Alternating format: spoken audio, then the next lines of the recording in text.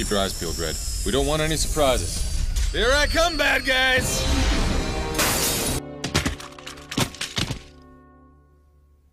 Clearly I will go